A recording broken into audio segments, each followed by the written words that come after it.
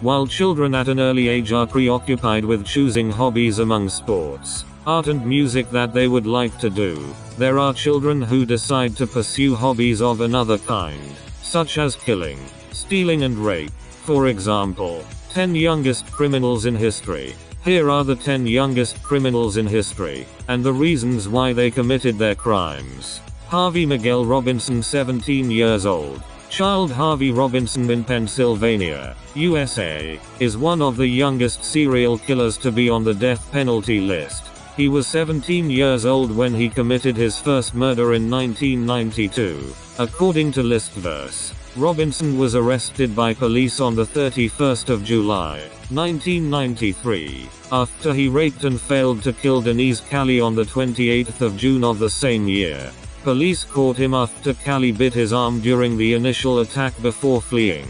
Then police matched the bite marks to Harvey to form incriminating evidence. But surprisingly later, the investigations led to Robinson's confession of raping and killing three other girls. Joanne Burghardt, a 29 year old nurse's aide, raped and murdered in August 1992. Charlotte Schmoyer, a 15 year old distribution worker for the Morning Call, who was raped and murdered in June 1993. Jessica Fortney, 47 year old grandmother, raped and murdered in July 1993. After Robinson admitted those cases, the judiciary convicted him in 1994 and sentenced him to death in all cases, and in April 1995, the judiciary again convicted him of raping a five year old girl and sentenced him to an additional 57 years in prison. In April 2006, Harvey's sentence was revised to life imprisonment for the murder of Joan Burghardt, as he was only 17 years old at the time. He is still awaiting execution until 2021. Craig Price, 13 years old. Craig Chandler Price, of Rhode Island, was just 13 when he committed his first murder by stabbing his neighbor, Rebecca Spencer, 27, with 58 stab wounds. He is still incarcerated in a Florida state prison today. At first, Price wasn't a suspect, but he later confessed to his crime when police arrested him two years later for killing three other neighbors while high on drugs in 1989.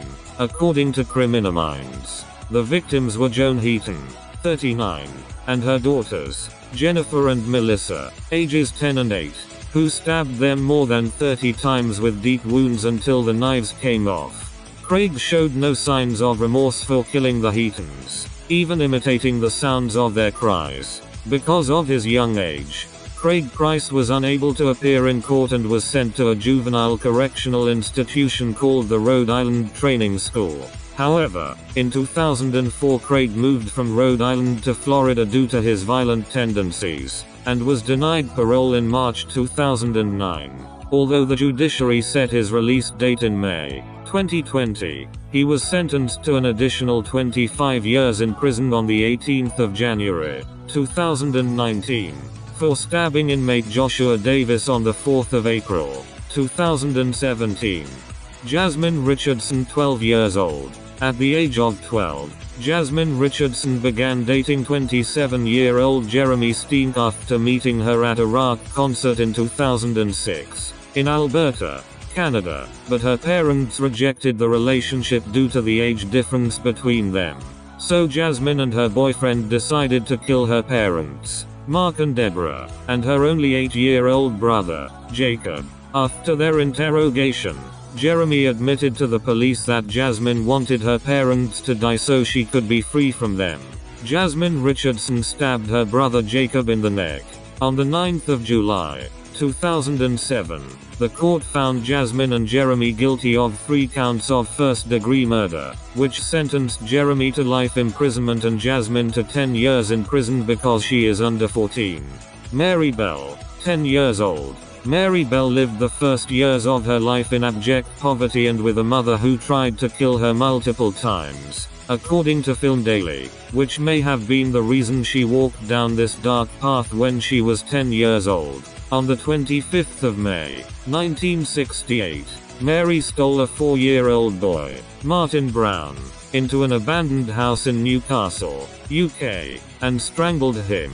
Although she later left written notes confessing her crime, the police did not take her seriously. Then, two months later, Mary was killed again, leaving the body of three-year-old Brian Howe in the same area as her first victim Brown. But this time, the police caught her. In December 1968, the court convicted her of manslaughter, extenuating it on grounds of low criminal responsibility, as a court appointed psychiatrist diagnosed her with classic symptoms of psychopathy.